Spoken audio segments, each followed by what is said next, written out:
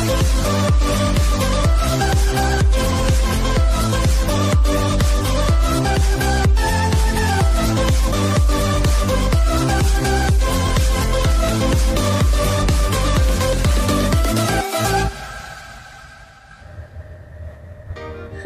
is up sa inyo mga bro? This is Bro Motovlog PH And for today's vlog Pupunta tayo sa Antipolo Antipolo Cathedral. Yung simbahan na kung saan Doon nagpapabless yung mga sasakyan. Yung mga bagong sasakyan Motor, kotse Or kahit ano pa man Basta blessings ng sasakyan kahit luma pa yan. Basta may ano, may bago kayong na-avail na o nabili, nakuha, binigay man yan o kung ano man, basta may bago kayong sasakyan, pwede nyo ipa-bless dito sa Adipolo Cathedral. Isa siya sa mga isa siya sa sikat na ano, na simbahan na dinadayo sa Antipolo. So pumunta tayo doon ngayon. So ang oras natin is 8:56 no? Mula sa pinanggalingan namin, wala pang 1 hour yung nakalagay na travel time. So, medyo hindi naman kalayuan sa QC. So, ngayon, nandito na tayo banda sa may uh, Santolan Station. Kasama ko yung girlfriend ko. Ah, uh, pagkatapos na ito, kakain kami. Hahanap kami ng makakainan. Dito tayo sa, sa kanan kasi pakaliwa dyan. Yan. So, Sabado ngayon. Um, okay naman yung lagay ng panahon. Kagabi, maulan pa. Sana ngayon, hindi umulan. Pero makulimlim siya, pero parang clear naman yung langit. So, ito yung isa sa magandang ano, magandang time na magmotor. Lalo na bago linis si Toti. Toti nga pa yung pangalan nitong motor natin. Nyo ako guys na magpa-bless. Then, hanap tayong kainan mamaya. Tuturo na rin namin sa inyo paano yung uh, proseso. Kasi kami, hindi kami nagpa-reserve, walk-in lang kami. At ang uh, alam ko is wala naman reservation. Pero malalaman din natin yan kung pwede uh, i-guide namin kayo kung paano yung proseso. At kung may gagastusin ba kayo o wala. Saka share na rin namin yung kakainan namin. Baka masarap dun. Alright. Minsan uh, huwag kayo magkakamali sa mga ganyan. Kasi pag gumilid kayo sa kaliwa minsan ano meron na siyang barricade na hindi ka na makakalabas. So mapipilitan ka mag left So kaya ako dito lang ako sa gitna kasi hindi ako pamilyar sa lugar na to. Baka mamaya maipit tayo. Ang ganda ng panahon. Yeah. Walang kainit-init. Ang hangin, makulimlim. Malawag yung kalsada. Walang traffic. Parang may naamoy ako hindi maganda. Ayun na, uminit na.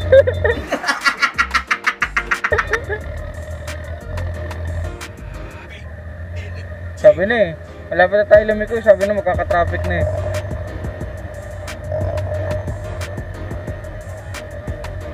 Grabe no. Grabe no. Nagka ano.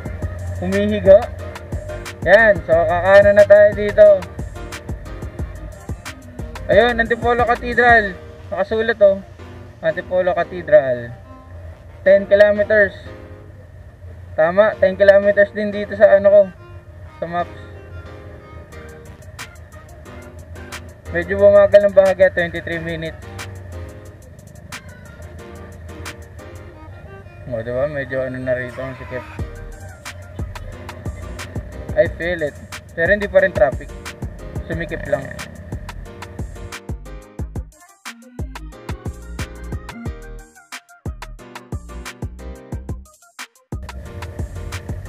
Happy yung girlfriend ko guys. May nakita siyang ano, bilihan ng buko pie. Yung kulit.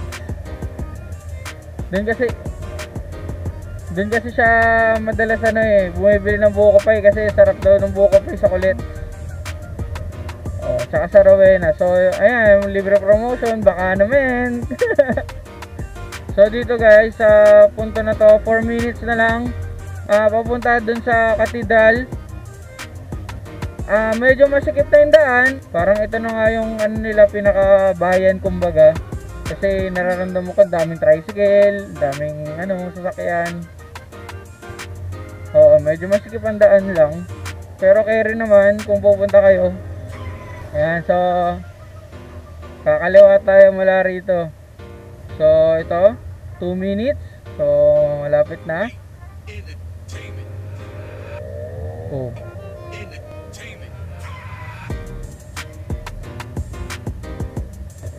Ayun! Ayan na! Ayun na, diba? kaliwa. Saan dito? Sir magtatanong lang. Saan po yung ano yung sa magpapabless ng sasakyan? Ay akit na dito. Pangalawang kanto kan salamat po. Unang kanto kakanan okay salamat po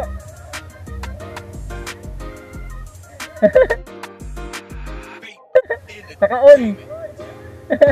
hello, hello.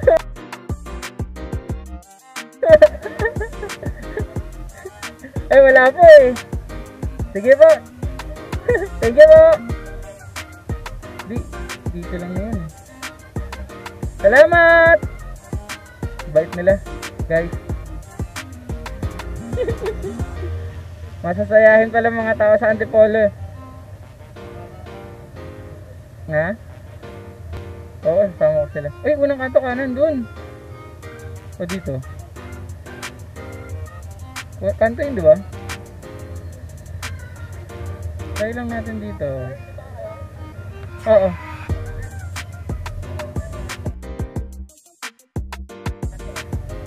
Kakanan na po.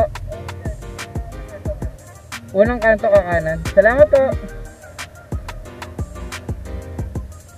Unang kanto daw eh.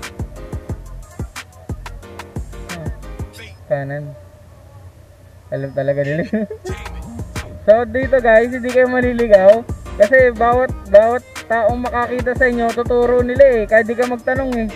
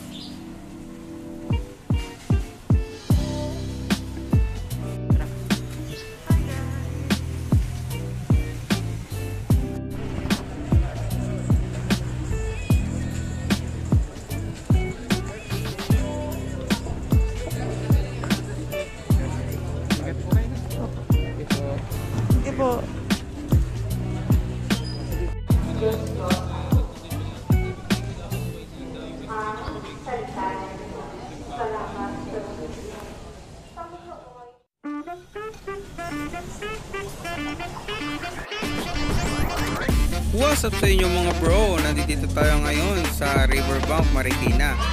At dito kami kakain. Madami kayong pagpipilian dito.